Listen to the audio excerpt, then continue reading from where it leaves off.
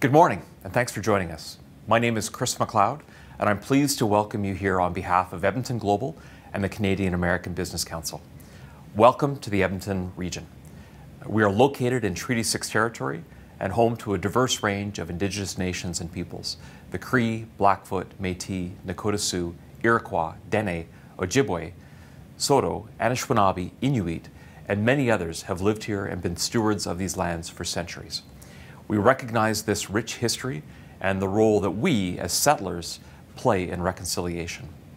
We grieve with Indigenous communities as more unmarked graves of residential school victims are discovered. While the scale of this genocide is only coming to light now, this news affirms what Indigenous communities have known for decades. We must all reflect on our unique roles and responsibilities in reconciliation and the actions we take to contribute to restorative justice.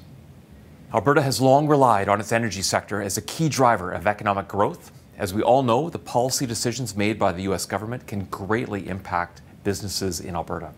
And we've seen these impacts. While not entirely unexpected, the recent announcement of the cancellation of Keystone XL was the latest in a series of blows to our traditional energy sector. But Alberta is much more than oil and gas. We have the skills and expertise that we need to tackle climate change and lead the way to a clean energy future.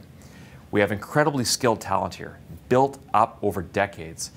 We have more engineers here than anywhere else in Canada. We have geologists, chemists, data scientists, world class manufacturing of equipment and pipeline infrastructure.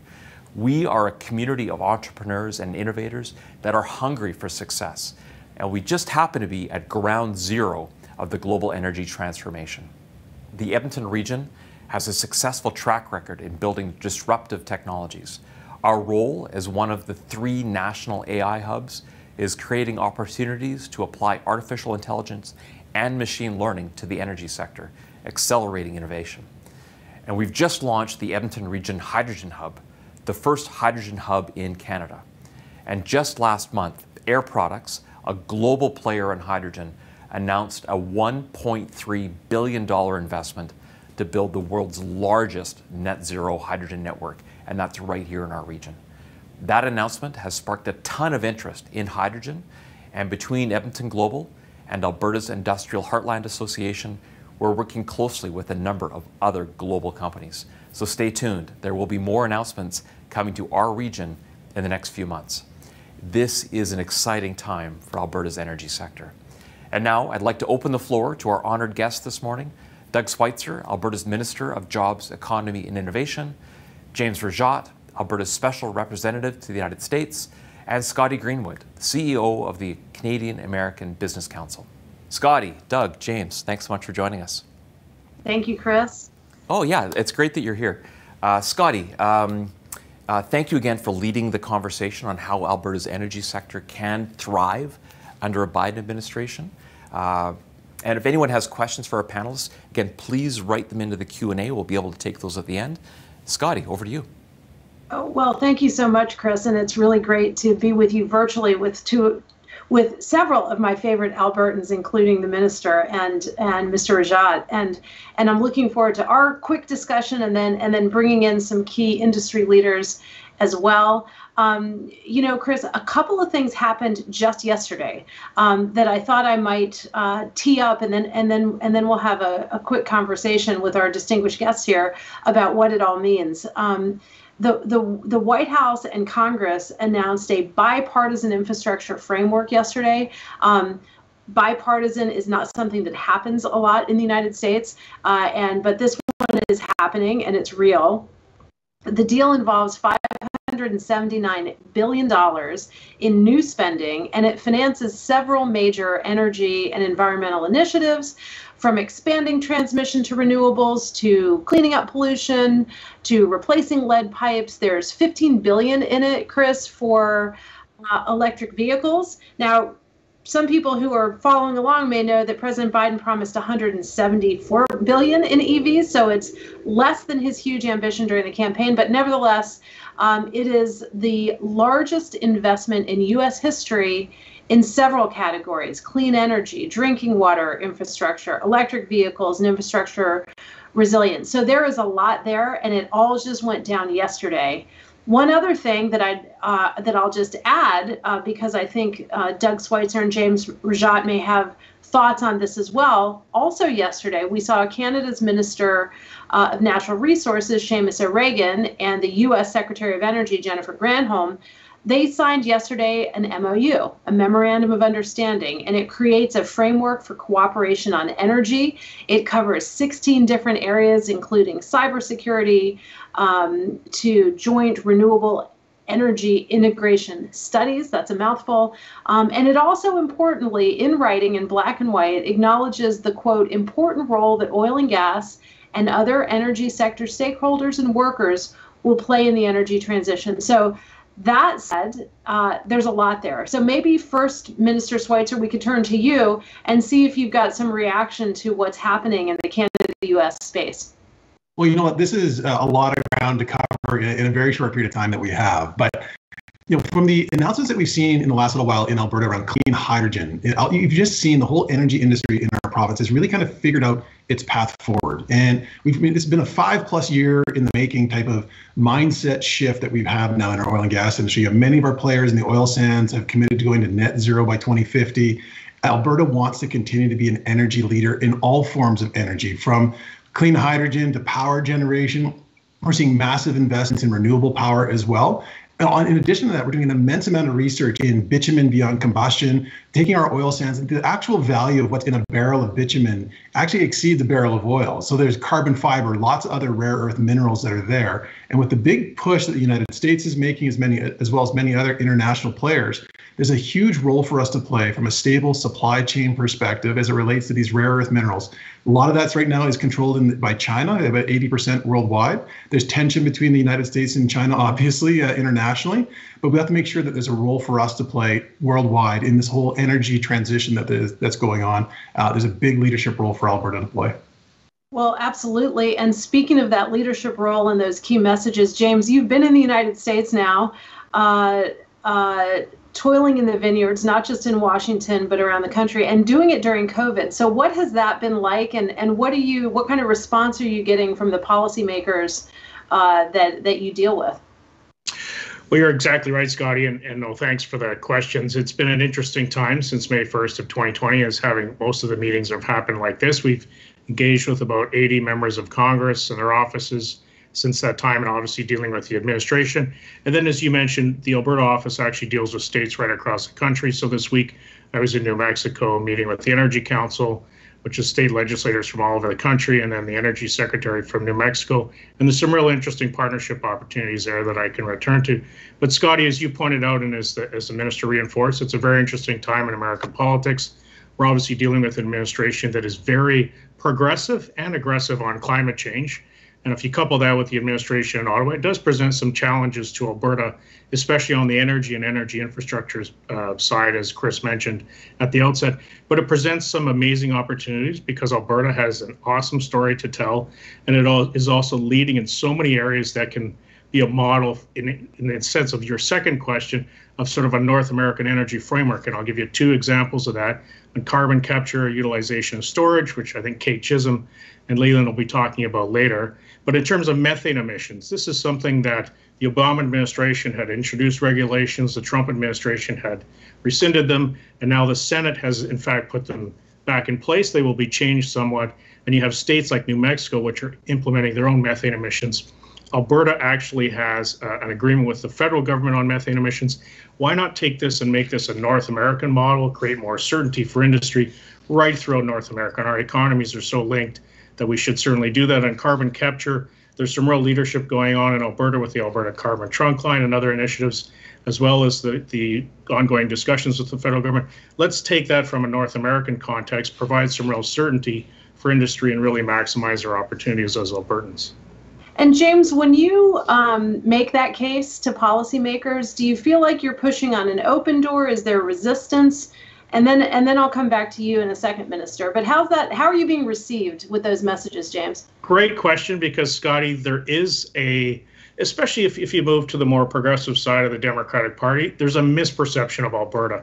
So when I go through the policies implemented, a carbon price on large emitters since 2007, the TIER program, emissions reduction Alberta, they're excellent um, initiatives. If you look at, you talk about COSIA, which is, as the minister mentioned, is the industry partnership to reduce emissions. You talk about all these initiatives, the hydrogen uh, announcement that was just made, air products investment. All of this is they actually get really excited, and then increasingly they'll say, "Can I find out more about that hydrogen investment? Exactly how you're doing that? How are you leading on carbon emissions? How are you reducing?" Your emissions intensity by 20% over a decade. Like, how are you actually doing that? And we're doing it at the national level and at the state level. So there is a misperception, but once we tell that great Alberta story, it's an open door and people want to just have a longer conversation about it and work with us on it. Um, well, that's good to hear. Uh, Minister, given all of this context, right? Chris teed it up at the beginning with the cancellation of Keystone. We also know we have challenges in Michigan with the Line 5 project. But yet, you and James have both outlined some pretty exciting um, possibilities. Given all of that, would you say you're relatively optimistic, relatively pessimistic? Like, how do you feel about the future for the Alberta industry at, right at the moment? Well, it's really interesting. When I started this role last August, originally I was justice minister and I came into the recovery plan strategy in August of last year a ton of uncertainty in August. We had negative oil prices, a lot of uncertainty as to the pandemic. What was the exit uh, out of the pandemic? Would the vaccines work? But now that we see, you know, the American economy kind of roaring back, we've got lots of growth trajectories that are happening. Alberta's forecasted to lead the country in growth. You're starting to see a lot more optimism. Plus, when you ha- add on top of that this new path forward that the energy industry, particularly in Alberta, has really started to map out. You're starting to see them have the ability to access capital again. They're actually able to get that young workforce. This is the one thing that's really interesting uh, is that young Albertans weren't sure if they had a future in oil and gas or the future in energy. And with the pivot that a lot of these energy companies have done, trying to tackle big challenges like clean hydrogen, carbon capture, making commitments to net zero by 2050, they've really got a young generation of engineers excited again about the prospects of being in energy. And I think that's going to translate as well as we go out and tell the ESG narrative of Alberta. I'd say five years ago, it was kind of it was a very different mindset in Alberta. It's kind of like, let us do our thing and just get out of our way. Whereas now they've kind of learned what the framework is internationally, how to access that capital, access that workforce. And I think you're really going to start to see the beginning of a shift in how Alberta is perceived. It's much, as somebody told me a really funny analogy, is like, just get a bucket of green paint. We're going to go show the world that we're green and we have all this amazing stuff that's happening here. And a lot of it's around brand awareness as well for Alberta. Interesting. Well, we, we've only got a, a, few more minutes left for this part of the um, program before we bring in our distinguished industry guest. So let me let me ask you both, uh, and I'll start with you, James. Kind of one more question, and I'd like to ask about context. Um, so so from from our point of view, you know, I'm fully I'm in I'm in the United States. I'm in the Commonwealth of Virginia, and uh, fully vaccinated, and uh, the Canadian American Business Council members, both in Canada and in the United States, would like the opportunity for fully vaccinated people to be able to go back and forth across. And it's it's for families, it's for border communities, but it's also for business. Um, and I worry a little bit that you've got U.S. policymakers, very influential ones, that are banging on the White House door saying, "Open up that border." And you've got an, an, a recent announcement um, from Ottawa and Washington that says we're going to keep the land border closed. Now, the air border has been open for Canadians to travel to the United States, not the other way around. So I just want to get a sense from both of you about the broader context of Canada-U.S. relations. Is it given is is the border closure? Are you feeling it in terms of um, the way the way American policymakers are looking at Canada and and are are you noticing it from an industry point of view and and maybe other broader um, sort of contextual issues about the way Canada and the U.S. deal with each other. So James, maybe maybe we'll uh, start with you in that in terms of that broader context. Well, thanks, Scotty. And I think it is something we have to be very mindful of when you have the Senate Majority Leader calling the Canadian ambassador to the U.S. and saying you have to have border rules that apply equally to Americans and Canadians. And frankly, this is an argument we make as Albertans, as Canadians, is we should have the same set of rules for products and services and people. I think Alberta has led in this area. Alberta has asked for a border plan from the federal government for a long time. We had the pilot program in Alberta, which I actually used twice in my capacity. Excellent initiative. I was hopeful that the federal government would adopt it nationwide. Unfortunately, they chose to move to a quarantine. But I think, Scotty, you're absolutely right. We have to move to have at least a plan as to what has to be in place to open the border. Per to what the minister said, I mean, I flew back yesterday. I mean, the American economy is just taking off with the vaccinations, the impact in terms of COVID numbers going down. And we're going to have to get ready and respond to that. And we have to have a place and plan to open the border for business travel, for tourism, for all these sectors that have been hit, especially hit hard during COVID. Yeah, you know. Oh, sorry. Just just echoing James's point. I mean, Alberta is a fly-to destination for a lot of business and also tourism. We don't have huge population clusters that are close by, so we have to get the airline uh, in both ways: the American marketplace, European marketplace, places that have high vaccination levels. I think it makes a lot of sense. We've sent that letter to the feds. We, if they don't want to move fast enough, we'd love to do a pilot project in in Alberta as well to accelerate that travel. You know, in 2019. Um, two thirds of the international tourists to Canada came from the United States, and they put $8.7 billion into the Canadian economy, and that's tourism alone. And and and I know that um, of the places in the world you want to travel, um, Alberta has some destinations that are right at the top of that list. Um, and and some some activities. I mean, Stampede is epic. Everybody everybody on this call knows that. Um, and I'd like I'd like to go this year. Uh, I'd love to go to Banff. You know, there there are things that that I think are important, and and I th- I think there's a, a chance that the U.S. if Canada d- decides at, at the end of this next period, which is July 21st, if if Canada says, you know what, we're going to keep it closed for another month because we know it's month to month to month. I think there's a chance the U.S. may say, you know what, Canadians, y'all come down. It's okay. So so we'll see what happens with that. Um, and you'd also you'd also like to come to Edmonton, Scotty, as well, right? I would love to come to Edmonton. Absolutely. Yeah. Um, especially in the summer because it's hot down here and it's you know pleasant there. So um, I'd love to take a walk a walk along the river. Um, with that, Chris, I think we're coming to the end of our of our allocated time for for this section, and um, and uh, Doug and James, please don't go anywhere because we'd love to keep this conversation going and add in some private sector perspective if that's okay with you. So so back to Chris. Okay, thanks so much. And again, absolutely fascinating conversation. And I, I really liked how we switched from talking about you know, infrastructure and trade deals and how all of these pieces around energy function. And then we ended really with talking about how do we move people because really that's at the core of this relationship is we're really closest as two countries and two peoples and having those connections where we can fly back and forth and connect and make again really meaningful partnerships is, is really at the core. Uh, and i'll just add in that while calgary's had the real fortune of having some direct air connections throughout uh, the pandemic with the us edmonton really hasn't yet. So we're really desperate as a community to get reconnected uh, and, and just as if you're coming up here, Scott, and we'd love to have you up here, the next week and a bit, it's going to be plus 100 degrees Fahrenheit. So you're not so much going to be able to escape that heat by coming north. Uh, okay, so let's, uh, let's now bring in our industry panelists to be part of this conversation. Uh, we've got Chait Chisholm, or Chisholm, who's a Senior VP, uh, Chief Legal and Sustainability Officer with Capital Power. Uh, Kate, thanks so much for joining us, and Leland Oberst, CEO and founder of Innovative Fuel Systems. So if we can get both of you to turn your cameras back on, and we'll, uh, we'll add you to the conversation. Uh, so again, welcome. And Kate, let's start with you. Uh, Capital Power really is an important player in this transition to net zero. Uh, Minister Schweitzer talked a lot about companies pivoting. Capital Power is absolutely doing that, particularly around carbon capture, storage, and utilization. Can you tell us a bit about what Capital Power is up to and, and how you're part of the solution? Well, thanks for that, Chris. Um, I'm I'm so proud of what Capital Power is doing. Like many many Alberta energy companies, we've been working on climate change for uh, well since 2005. Um, and, and we're working on it in a few different ways. Of course, we're building wind farms and solar farms, but we believe that uh, when the wind isn't blowing and the sun isn't shining, uh, the world is going to need some very low emission or no emission backup power. And so we're also working to take emissions completely out of our natural gas fleet uh, so that it can serve that purpose. On the one hand, we're building a, a big CCUS project that will take three megatons of carbon out of, out of uh, the electricity grid in Alberta.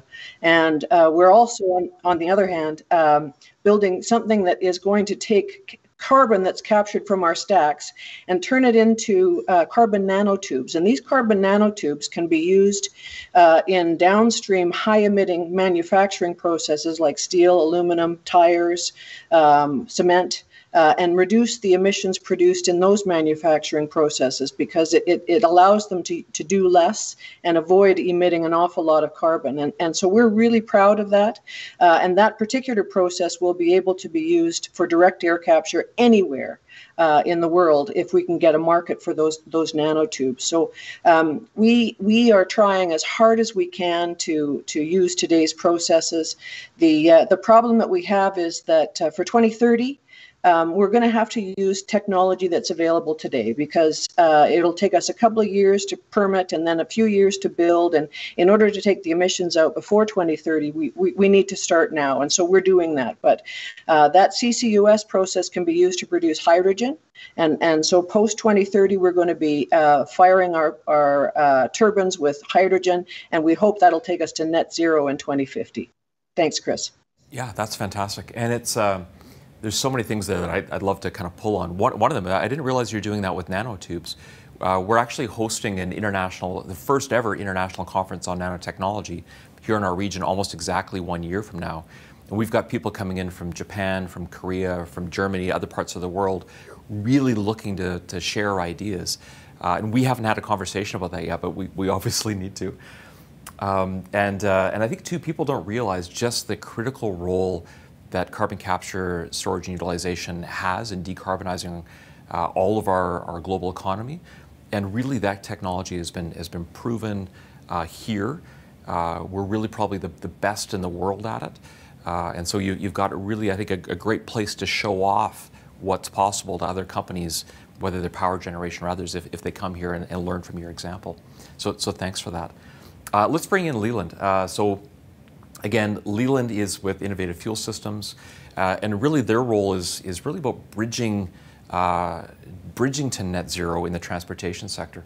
And Leland, can you join in and just tell us a bit about what you've got with your technology? Sure, thanks, Chris. Um, that's exactly right. I mean, I, you know, you read all these stories on getting to net zero by 2050, maybe even by 2030, some would say. But the reality of it is, um, that is a ways away. And bridge technologies, you know, have to sort of rule the world for a little bit here. And what our technology uh, does, and, and what's also very important, is we're actually shovel ready. So this isn't something that's going to be ready in 10 years or five years. But what we do um, in the heavy duty diesel trucking industry, which by the way contributes uh, roughly 6.8% of the GHG emissions in the world, um, our technology can go on and burn natural gas at a roughly 50 50 blend with diesel at the same time.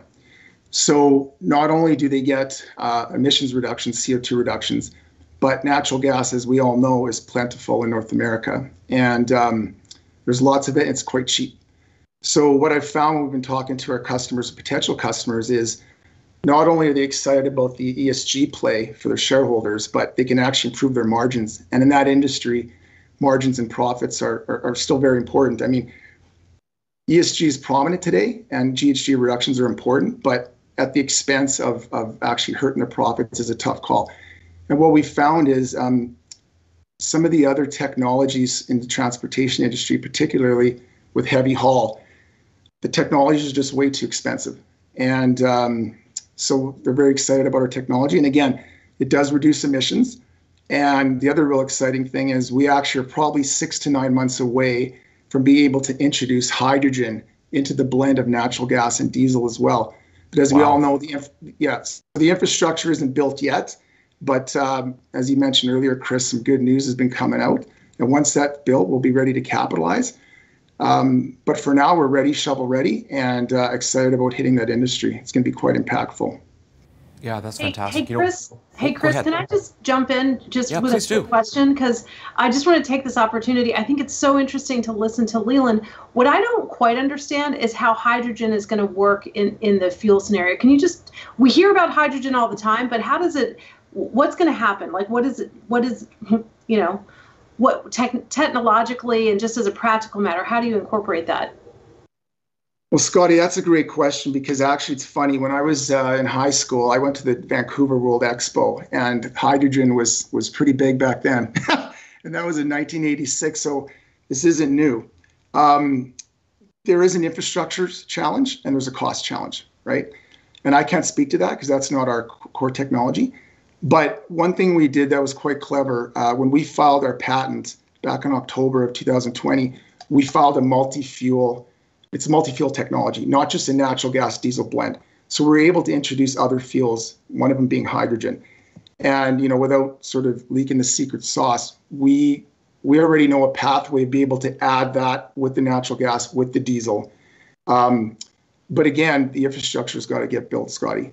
And uh, once that is, we're, we're able to mobilize.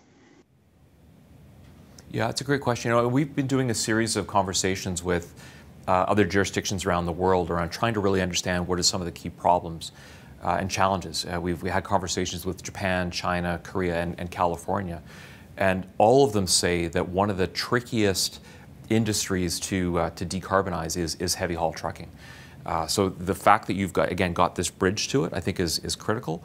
And uh, in terms of the kind of the, the technology or the how do we do that, Scotty, to your point, uh, a lot of it's around uh, liquid hydrogen is, is kind of what the, the current thinking is.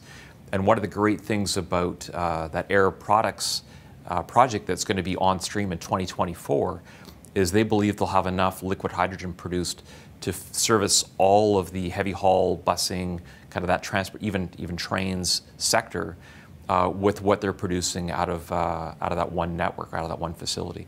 So it's it's a really significant advance. Uh, and then again, talking to places like California, they're really eager for what we're going to be able to produce here uh, and you know, so getting the pipelines and other infrastructure down to really ship it down to, uh, to places like California are one of the next really major critical steps on that path to, to helping the world decarbonize. Uh, okay, so let's, uh, we've got a bunch of questions that have come in from the audience. And again, for all the panelists, feel free to jump in because uh, we want to make this a, a, much of a conversation as we possibly can. Uh, the first question we're going to put to Minister Schweitzer, but again, feel free to chime in. Um, Nope. Oh yeah, it's from it's from Mary. Uh, what does the Alberta government see as the top growth areas for the Alberta energy sector under a Biden administration? Again, so so pretty broad. Where do you see us growing? Well, I think this is the one thing that we've been just talking about overall here to, today is that we're seeing a massive acceleration of investment. Uh, it'd be interesting to see the perspectives of our industry leaders that are on with us as well. But you know, going back to my legal career, I, we haven't seen this speed uh, of announcements, this scale of potential projects and investment going back over a decade.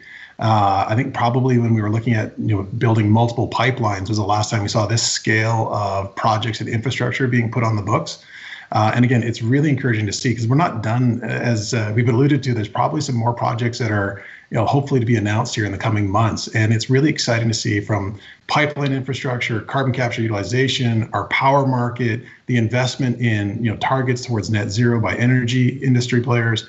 We haven't seen this scale of momentum happening in a long time. So if you take a look at the global North American market, international discussions that are happening at G7 and other places, the energy industry and power industry in Alberta is really starting to leap to the forefront of innovation, uh, as well as the ability to access capital and investment. So it, it's quite encouraging to see us at this stage. Uh, I would say a couple of years ago, many of us were anxious about the future of the energy industry in Alberta, but with the leadership of, and innovation that's happening right now, you know, we're all kind of taking a look at this going, okay, we get what the next 10 years looks like in Alberta, which is encouraging. Yeah, and I know Leland and I had a conversation about this uh, just yesterday, and, there, and there's a, a, question in the uh, in coming in from the audience too about this. Uh, so Leland, can you maybe just riff off of what uh, Doug was saying, and that access to capital investment is. Are you getting more success kind of out of U.S. investors, U.S. capital, Canadian? Do you have a sense of kind of who's who's kind of further ahead and saying, yeah, this is where we need to go in the future? Yeah, actually, I have a good sense of that, actually, Chris. Before I answer that, though, I would like to um, touch on something that Doug said um, about 10 minutes ago around young engineers wanting to work for um, companies going forward as opposed to living in the past. Like we are living proof of that. So we actually, out of our uh, seven engineers, five have actually moved from Eastern Canada. And two actually started the day that uh, Justin Trudeau shut the country down last year in COVID. But um, really exciting and they actually want to be a part of a company like ours or companies like ours and it's absolutely true that it's not it's not just actual comp anymore it's about being part of some sort of special and moving moving alberta forward so i'm glad you brought that up doug because it's i i live and see it and very lucky to have that and um, chris's point absolutely I, I i it's probably music to scotty's ears but U.S. investment and U.S. investors are so much more excited about what we've got to bring to deliver and what our path forward is than actual Canadian investors at this point, um, especially in southeastern U.S. So we're actually in discussions right now with five pretty significant groups um, to invest, and uh, they're really excited. Now they want us to get down to the U.S. quicker, obviously, but um, down. Yeah, exactly. But uh, no, it's been fantastic and exciting. Okay, that, that's great. And again, it's one place where we need to do a little bit of catch up, I think, is, is moving our capital and our investment. Uh, we've got a really good question here for Brad that I think maybe we'll put to Scotty first and then kind of see who wants to riff on it. Um, how linked is Alberta's image and reputation to the oil sands? And what are our opportunities to expand this brand positioning, maybe into things that are more like hydrogen and green? Um, well, that was a perfect uh, a, a, perfect throw. I think James was about to jump jump in, oh. and and uh, in in full disclosure, I I work with. Um, both the province of Alberta and Capital Power Leland, we got to figure something out because you're the, you know, I need a hat trick here. But, but in terms of how people in the U.S. think about Alberta, um, there is there is a lot of thought about the oil sands. But, um, but, but again, what Capital Power is doing on on uh, using ca- capturing carbon and using it in something like nanotubes blows people's minds. Um, and James has been telling that story um, for the last year. So James, I know you were going to jump in. Maybe I could just yield to you. Sure. Well, thanks, Scotty. No, I was I was going to in terms of the perception of the oil sands, it, it's changing, and this is where we're sort of updating people's impression of it. I mean, they certainly know from an energy independence, energy security point of view, Alberta provides over half of the crude oil imports to the United States, majority exported to the U.S. in terms of natural gas. So areas like the Midwest, obviously the Gulf Coast, very reliant on Alberta from an energy perspective. Um, but again, as I said earlier, when you get to sort of the progressive Democrat side, you do get some concerns, obviously, on the emission side. But that's why they're very impressed by what we're doing with respect to emissions and a lot of the things that have been talked about on this panel on car- carbon capture and other areas. I'll just do, do a couple of things. So, uh, Alberta Energy and our, our office had a meeting with the Council of Environmental Quality recently. They reached out to us to talk about, frankly, Kate's sector just yesterday and saying, like, how does how do you do electricity in Alberta? It's sort of a market-based system, but you're actually able to cause some real reductions in emissions. So how do you do that? So give us some background on how that's actually done in Alberta. And then, frankly, yesterday reached out to again on investing in the oil and gas sector in Alberta. And why is that? Because of COVID, because of the Russia Saudi price war, uh, the production in the U.S. has fallen, but the production in Alberta has stayed fairly steady. And with what the announcement that the minister referenced with respect to uh, the major oil sands producers committing to net zero by 2050 and addressing the ESG concerns, now Alberta's in a real sweet spot, not only in terms of its innovations, its advancements, but its traditional sector, which is frankly a 60% funder of the clean tech sector. So now investors are saying, Alberta's got everything we want to invest in. We're sort of an all of the above energy approach. So it's a great news story, and it's something that, frankly, puts us in again a real sweet spot going forward. Well, and Chris, when when uh, when James talks about uh, his meeting with the Council for Environmental Quality, that's an office in the White House. So just to just to give people perspective on that, that is the Biden administration reaching out to the Alberta government office in Washington, saying we we want to understand and talk to you about what what the future could look like. So I think that's pretty exciting. Yeah, so I should have mentioned that. Another example, the state of Pennsylvania, their Department of Commerce, Secretary of Commerce reached out to our government again, Minister Savage, and said, "Tell us how you do carbon capture in Alberta. Like we want to." They're sitting there taking notes from Alberta in terms of how we've done it. So again, I could talk all day, but I'll, I'll stop. Uh, but building on what James has mentioned, though, and that kind of all of the above, and Alberta being in that sweet spot. Uh, I mean, just this week you had Amazon, you know, do an offtake agreement for with the largest solar power project in Canada, one of the largest uh, projects in North America, and you've got these big, big international companies making net zero commitments, and because of how we've structured our power market, well, allowing for those entrepreneurial minds to come in and find ways to innovate it's really creating massive opportunities where we're leading the whole country in renewable power investment. So it's quite encouraging to see Alberta really start to hit its stride on all fronts. Uh, we've been trying for five plus years to kind of figure out where exactly that sweet spot is, and it seems as though industry is really starting to figure it out. Well, I think Kate, you, you've been nodding, and a lot of this kind of comes to your area. Do you want to chime in on that? Well, I, I uh, agree with everything that's been said. I just want to I just want to add that uh, not only is uh, Alberta um, a leader in CCUS as it now stands, there are Alberta companies that are doing uber cool things with captured carbon. I mean, there are there are companies that are making uh, uh, sodium bicarbonate, which is baking soda. There are companies that are making jewelry. Uh, Lush Cosmetics has started to make soap. We're, we're sort of building carbon nanotubes into the skin of the of jetliners to make them lighter. Uh, and so we're doing all of this sort of stuff with with with captured carbon from the atmosphere and doing it in a way that makes it inert and and completely uh, non-contributory to climate change. And so we are solving not only today's problems, but we're solving the 2050 problem as fast as we can. And we've been working on it for a long time. And so uh, my advice to Alberta consumers at this point would be don't just buy local, buy carbon. Yeah, I love that. And it's take, the idea of taking something that's been a, you know, a, a cost and a detriment and turning it into value.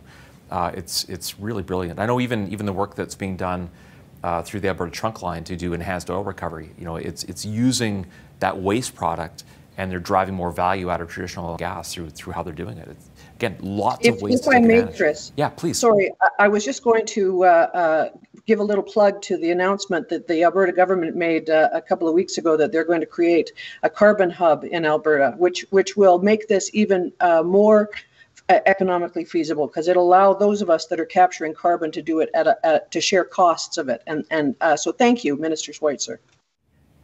Yeah, it's wonderful. And I'll, I'll just add a little bit on to uh, what James was talking about with the, the White House being interested in what's happening here. Uh, after the Air Products announcement, uh, I was in conversation with, with some of the leaders at Air Products, uh, and they were being called by John Kerry's team, you know, who really are leading climate change for the White House, asking about how are they doing hydrogen in Alberta and getting to this net zero because they, they didn't understand kind of how that was possible here. And it is that, that unique geology mixed with the real innovative technology to make that happen. Uh, and in, in, chatting with uh, Air Products, they said they scoured the world to try to figure out where's the best place to locate, again, the world's largest net zero hydrogen network. And they said Edmonton really stood out because of that, that geology, the, the, the prior investments in, in infrastructure, uh, access to world markets, all of these things came together to make this the global hub to build hydrogen uh, and to produce it. And so now it's really that trick of how do we bring in energy companies and how do we bring in transportation, how do we get product to market. But this it really is the epicenter for, for North America. And, and again, we can build it at a world scale, which is completely unique. Uh, okay, yeah, so we oh, go ahead, Scotty. Chris, I was just going to say I I love these stories, and I think part of the message here, from from my point of view, Canadian American Business Council, is we do really well when we figure out how to collaborate and do business together. And so we always want to make sure that we're not uh, competing against each other or putting up barriers against each other as between the US and Canada because businesses, as you've seen, um, invest in each other's companies. You know, uh, Leland is looking at the southeastern United States. I know Kate's company has facilities in places like North Carolina and Arizona and lots of others. So, so I think investment can flow both ways, and and engineering knowledge and innovation can go both ways. But it's it's important that we in Canada, and the United States, sort of lock arms and say, okay, we are in this together, um, rather than kind of fighting against each other. Yeah, let's go for it, James. J- James. No, that's exactly right. I mean, Scotty, both what you and Chris said in terms, and this is where I'm going to ask for help. If we could get help from your members on this, is send us your stories in terms of what you're doing. So hearing what Kate and Leland have talked about today, make sure we're aware of that. So if we're in discussions with again with the White House, that we're relaying that kind of information. As Albertans, I think we're sort of modest. I mean, I was talking to someone from Suncor, and he said, "Yeah, we have a partnership in Georgia with LanzaJet, and we're going to produce lower emission uh, diesel fuel for jets." And I said, "That's a great story. let me promote that story in the U.S." Stantec is the designer, as I understand it, of the largest electric vehicle charging station in the United States in Pasadena, California.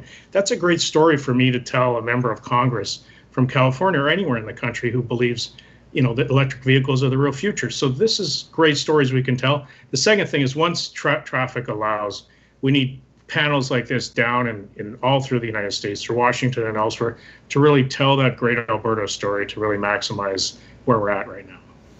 Yeah, you know, as Canadians, we tend to be a little too modest. Uh, and Albertans probably are the are the, the loudest of the Canadians, but we're still not loud enough. Doug, do you want to chime in?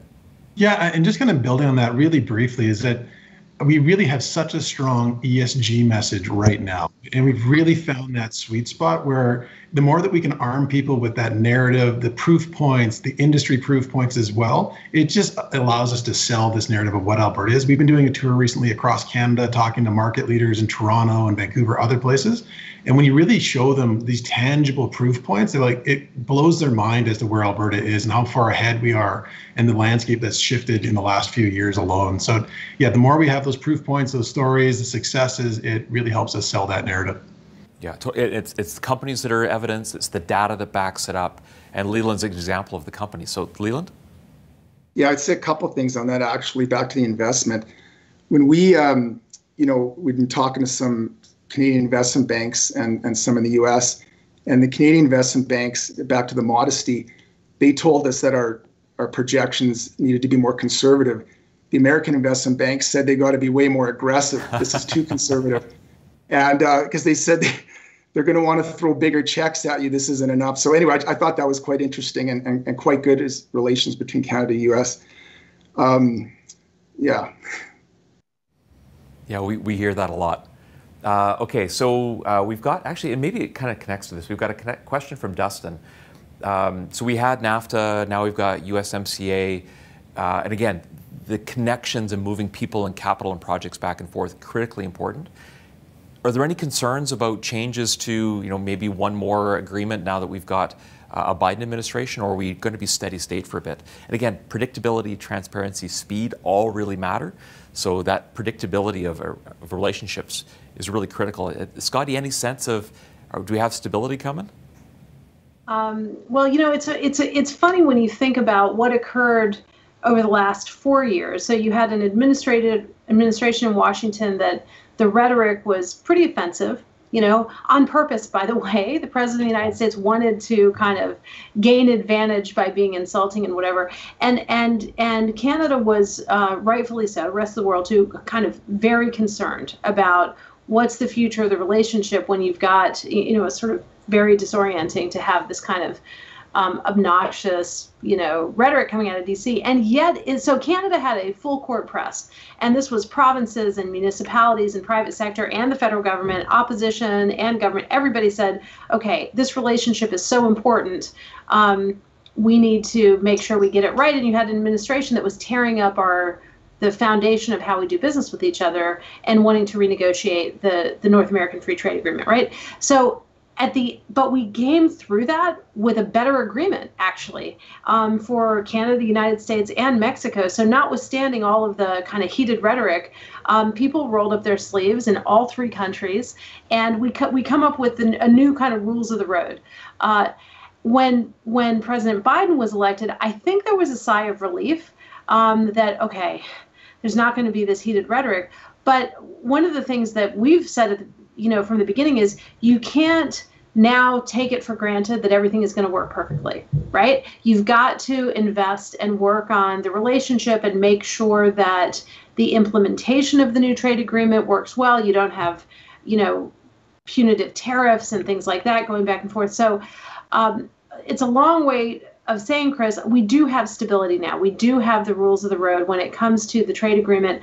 And by the way, I don't think the U.S. is going to get any more new trade agreements with anybody else. So this one is the gold standard as far as the U.S. marketplace. Canada has lots of trade deals with lots of countries, which is to Canada's benefit and credit through successive governments. But I do think we know how things are going to go for the next few years. I don't think the rules are going to be changed, um, and and I think that's a good thing. Yeah.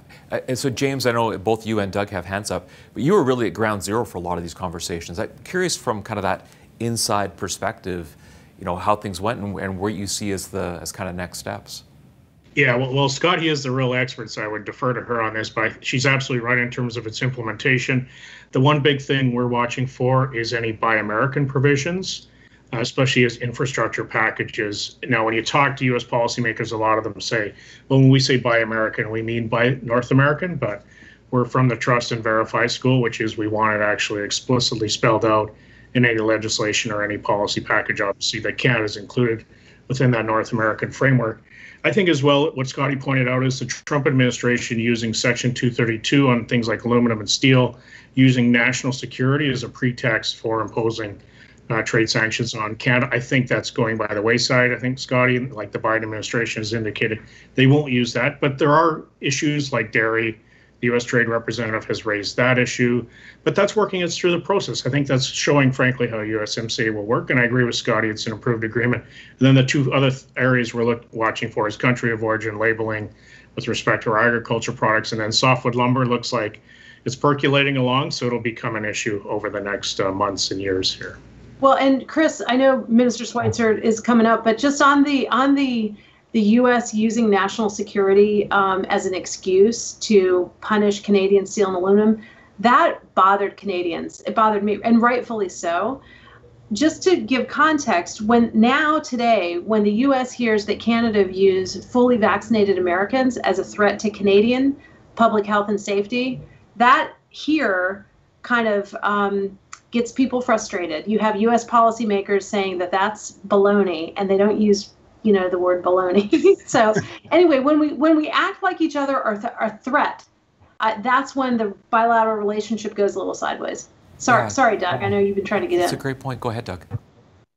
Yeah, and I think the one thing that's going to be interesting to watch is I don't necessarily think it's going to be a trade agreement that's going to have the biggest impact on back and forth, but this energy framework that they're talking about between Canada and the United States, I actually think that could have the biggest impact on the Alberta economy, depending on how that gets structured. I mean, hopefully we can come to a point where if they're going to go down this path of all the, you know, net zero by 2050 targets, all these different, you know, environmental push, hopefully at some point in time we can have a North American carbon adjustment for imports coming into North America. I think that would be kind of a bigger strategic advantage for Alberta. Plus, with all the investments that we're making, if we can kind of have that North American strategy for carbon adjustments, I think it would allow us to have that kind of level playing field for our energy industry.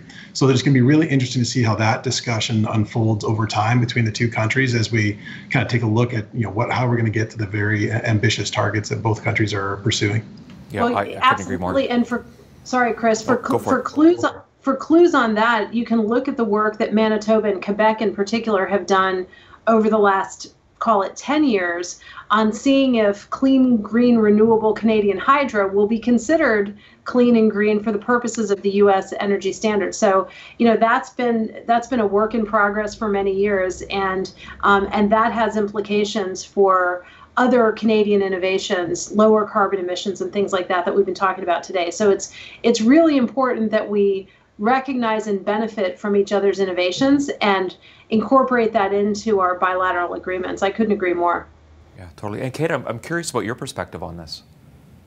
Well, you know, it's interesting because there are more than 40 major transmission lines between Canada and the US in the electric grid. And so the North American electric grid is actually one single grid because electrons don't uh, recognize the international border.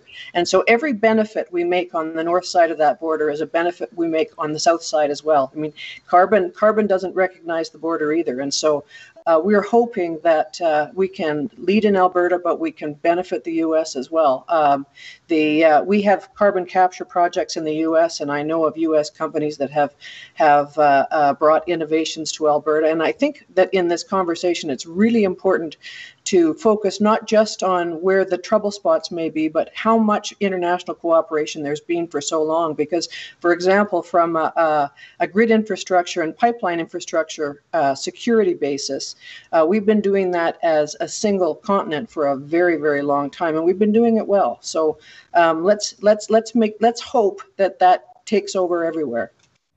Yeah, totally agree. Uh, we've got a question here from Pam. Uh, what are the key questions that American companies and investors are asking about Alberta? So I don't, I don't know if, uh, if Leland or Kate want to start. When you talk to the American investors, are they talking about Alberta?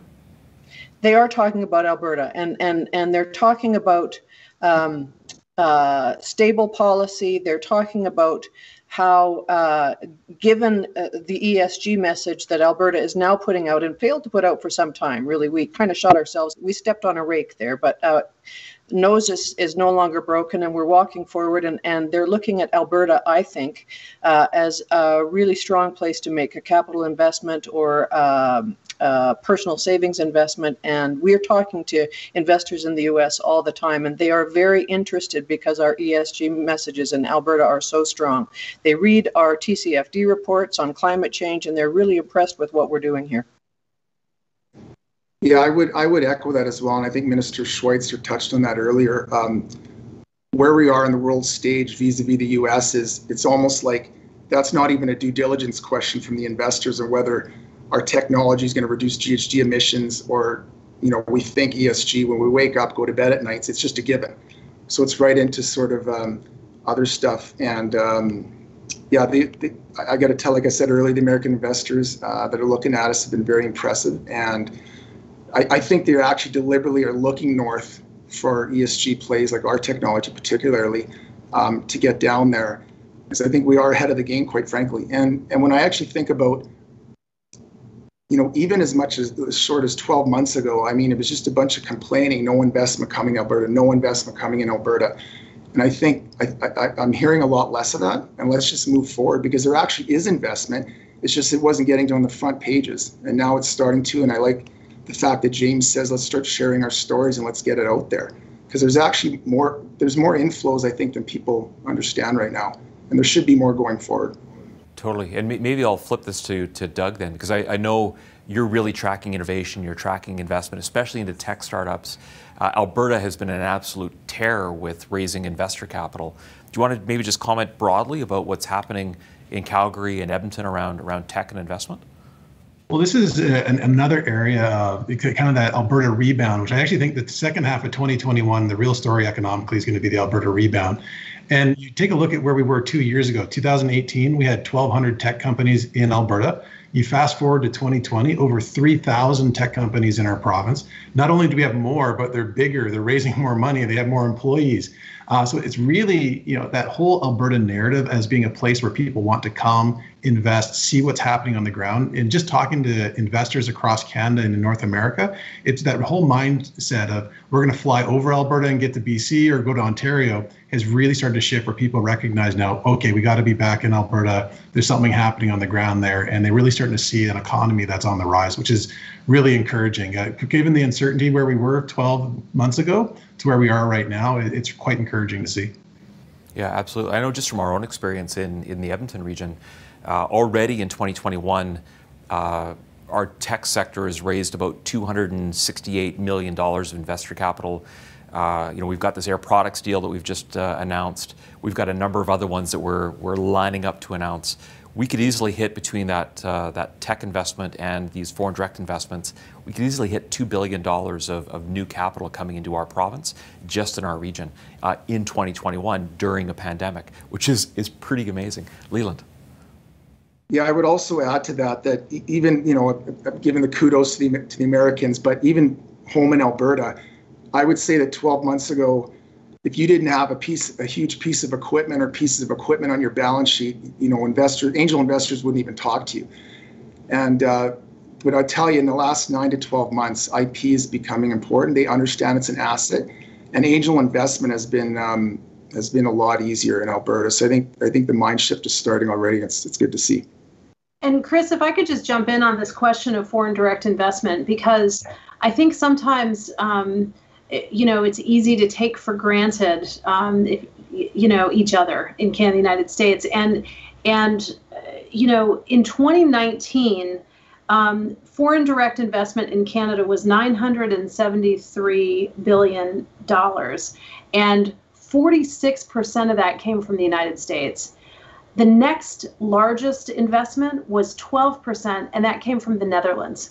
So there is a huge uh, collaborative economic opportunity. And by the way, Canadian direct investment in the United States is also huge. So when you hear about we've got to diversify, we've got to move around the world, you know, I understand that, but the truth is we have something really great going here, uh, and and uh, Minister Schweitzer touched on it briefly, but a huge area, of, and and Chris, I think you talked about it um, briefly, but a huge area of potential for Canada and the United States on investment vis-a-vis the rest of the world is on critical minerals and rare earths. You know, that engineering capability, that infrastructure, uh, the solid environmental regulatory regimes that you have in Alberta and across Canada, that's that's a way for Canada and the United States together to outpace places like China, which currently own 80% of the processing of these of these products, which by the way are used in household go- goods, they're used in electric vehicles, and they're used in defense goods too. So, do we all really want to be reliant on other countries, um, or is it do we want to use our engineering and our know-how and our investment to do it right here in North America? Yeah, it's amazing. Again, one more example of something that we have in Alberta at world scale. We've got about one minute left, so I know we, we could probably chat about just that topic alone for another half an hour. But maybe what we'll do is just a really quick run through you know, what's the one thing you want listeners and viewers to, to know about how we can thrive under this new uh, relationship between Canada and the U.S.? So just a really quick round the room, and maybe James, let's start with you, and we'll I think we'll end with you, Scotty, as kind of that wrap up from the American perspective. James. I think just understand that there's opportunities, obviously focus on energy, but it, throughout the energy spectrum here, whether it's traditional oil and gas, whether it's over to wind and solar renewables, um, whether it's in hydrogen, whether it's in clean tech, whether it's ensuring the, the security of, frankly, our transmission and pipeline infrastructure through North America, as Kate mentioned, there's opportunities throughout it, whether it's in terms of digital services or the initiatives that, that Leland is working on. There's opportunities all over the place. And the only thing I would uh, emphasize again is make sure you are telling us, telling me those great stories about your great opportunities and ensuring that we can then tell that Alberta story here in the United States. Okay, love it. Opportunity, opportunity, opportunity. Connect with James. Okay, Leland, how about you? Um, you know, I'm going to be succinct here. I would just say we're open for business. We're not living in the past anymore, and we're open for business. Love it. Kate? Uh, every single energy company in Alberta, including the oil sands producers, is all over climate change, and we will get to 2030 and we will get to 2050. Have faith. Fantastic. Doug? Uh, the Alberta rebound is real. Uh, Alberta has its swagger back. We've figured out ESG. We're going to continue to be an energy leader internationally, uh, and it's now's the time. Let's get going. Love it. And Mary or uh, Scotty, bring us home. So I think we'll go from the Alberta rebound to the North American rebound. And I would just ask everybody to go to www.northamericanrebound.com or check it out on LinkedIn or Twitter and uh, join in. It's all about how we're in this together. And uh, really appreciate the opportunity, Chris, to collaborate with you and and and to spend some time with this amazing panel. Um, I hope we can do this in person because uh, we're we're all ready. I hope this is our last Zoom meeting ever. Yeah, totally agree. And I think there's a real opportunity to have this kind of a discussion across the U.S. just to really raise the awareness of the amazing opportunities and things happening here in Alberta. So, so thanks so much to uh, to all of you. And again, I think that we really flew by here in the time, a, a lively discussion. So, so thanks so much to each of you and to all the panelists uh, and uh, people who asked questions from the audience. Uh, so once again, I'd like to thank the Canadian American Business Council for, for your help in hosting this event. So thanks, Scotty. Uh, to our panelists, again, we really enjoyed the diverse uh, perspectives that you shared this morning.